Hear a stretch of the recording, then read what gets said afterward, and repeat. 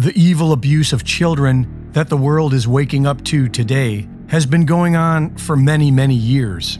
The Industrial Revolution was fueled by hundreds of thousands of children sold off of orphan trains at local fairs across the country, many of which were born within orphan asylums and referred to as foundlings.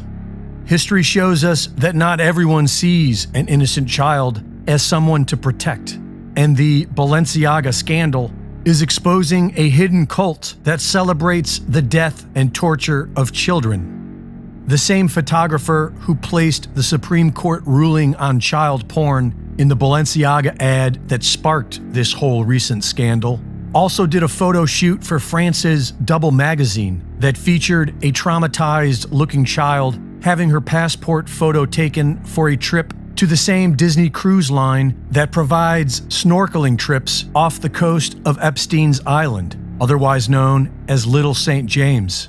Both photo shoots appear to have been styled by Russian stylist Lotta Volkova, a highly celebrated stylist in the fashion industry who works for Vogue, Adidas, Chanel, and has been a top stylist for Balenciaga since 2014.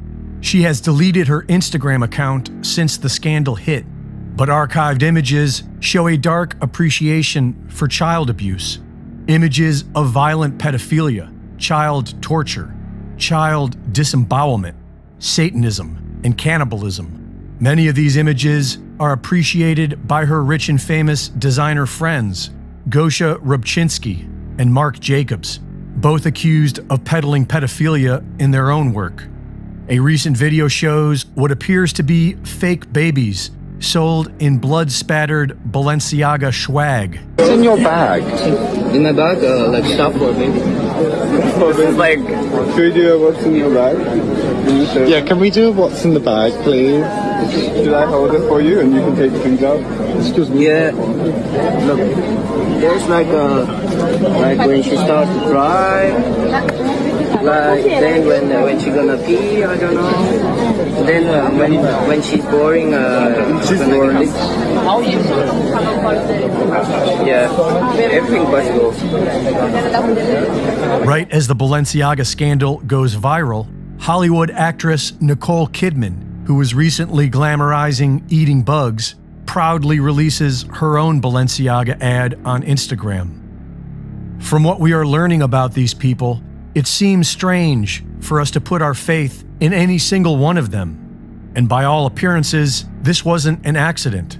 It seems to be another demoralizing psyop. The Balenciaga stuff just gets worse and worse. Check this out.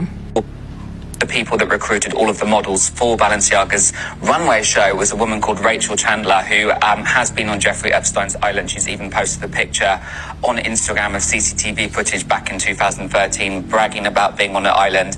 This stuff's got me wondering if all high end fashion brands are just fronts for human trafficking. So, most of us know by now that Balenciaga got themselves cancelled by having BDSM bears photographed with children. The same style bears were featured in one of their last runway shows, which was held in a mud pit, as if the brand weren't disgusting enough.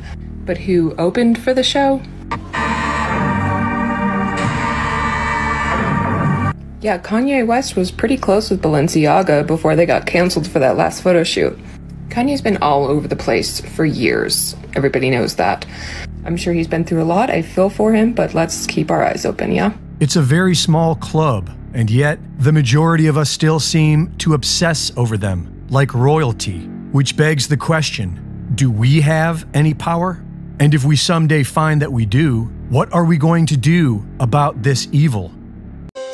It's easy to write off smart people doing stupid things to incompetence or haste, but this one just it doesn't make sense. First, the facts. Balenciaga is one of the world's most expensive clothing brands in the world, and for some reason, their Christmas ad campaign included pictures of a child with a bear.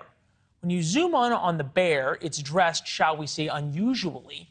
People who know about these things say its outfit is inspired by bondage outfits used in certain sex acts. This, in and of itself, is troubling. Then there's another ad. You zoom in on it and you see the papers laying around the bag that is being advertised. is printouts of a child pornography case, specifically United States versus Williams in 2008, that upheld the law making child porn illegal. Next, add to the celebrities who endorse Balenciaga. It's a who's who from Kim Kardashian to Hailey Bieber. And remember the ad. All the ads had to go through dozens of people ad agencies, creative, photographers, set designers, executives, agents, casting folks. And somehow, they end up with all of this. Chris Hahn here, host of the Aggressive Progressive. Balenciaga's at this saying, oh, we had no idea. Uh, we're now suing the ad company. This is how the Daily Mail puts it.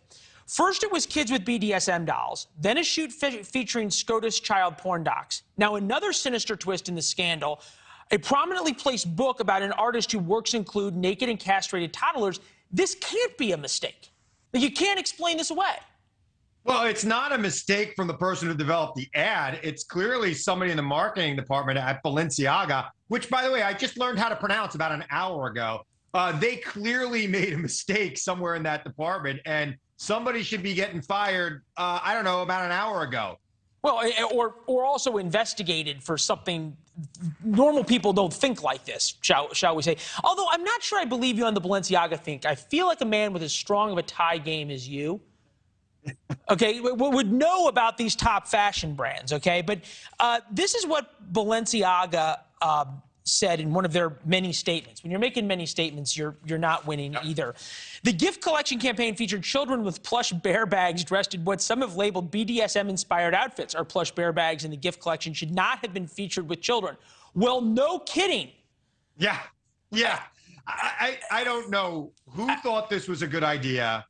Yeah, I, I, but I, what what's confounding to me is how many people this had to go through. Right? It wasn't just one person in the marketing or ad department, and I'm it, and, and I'm kind of wondering where this goes. Right? Does does it? Do we finally stop with sort of the weirdness of fashion, or does it just continue?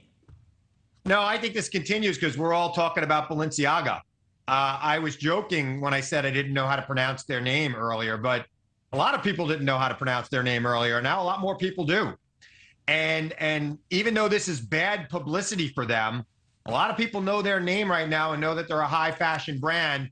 And maybe they're mo- looking to move into a more mainstream market and they're using this scandal to get their name brand out there. And about a year from now, nobody's going to remember this ad, but they might remember that Balenciaga name. So you don't you don't necessarily buy that it was a mistake.